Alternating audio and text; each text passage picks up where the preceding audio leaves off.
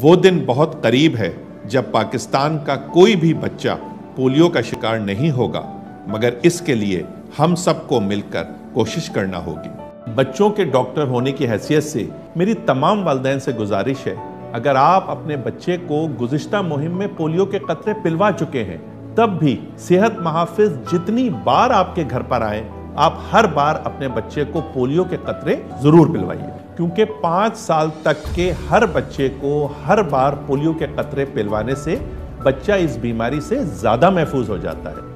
आए, पोलियो के मुकम्मल खात्मे के लिए अपने दरवाजे खोलें और पोलियो को पाकिस्तान से हमेशा के लिए खत्म कर हैं।